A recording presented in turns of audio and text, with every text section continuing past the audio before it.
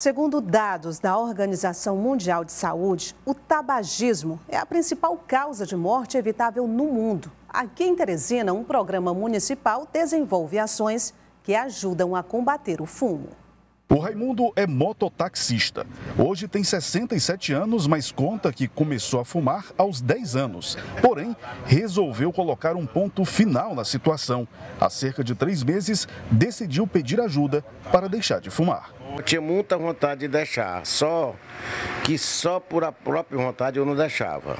Eu estou conseguindo deixar, graças a Deus, com a ajuda do adesivo e uns comprimidos que a doutora me deu.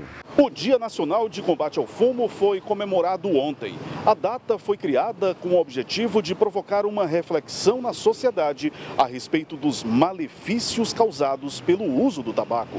Segundo dados da Organização Mundial da Saúde, o tabagismo é a principal causa de morte evitável em todo o mundo, sendo responsável por 63% dos óbitos relacionados às doenças crônicas não transmissíveis. O cigarro também é responsável por 85% das mortes por doença pulmonar crônica, que inclui a bronquite e enfisema. A Valéria coordena o Programa Municipal de Controle e Combate ao Tabagismo em Teresina, que funciona no Hospital Municipal da Criança do Parque Piauí, na zona sul da capital, e relata que a iniciativa conta com uma equipe multiprofissional para o atendimento de pacientes e já apresenta resultados acima da média nacional. É um acompanhamento que a gente faz a partir de grupos né, de tratamento que contam com cerca de 10 a 15 pessoas em cada grupo. E essa equipe composta por assistentes sociais, médicos, enfermeiros, psicólogos, nutricionistas, cada um vai dentro da sua área de conhecimento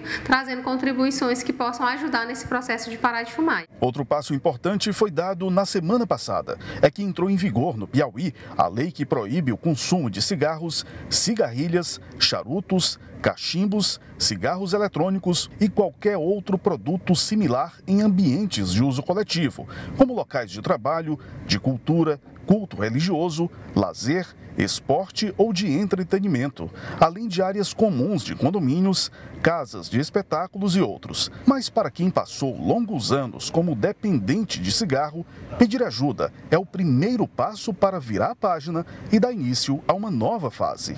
Quero dizer para os meus amigos e amigas é o seguinte: se você tem plano de deixar, procure uma ajuda porque se torna mais fácil, vale a pena.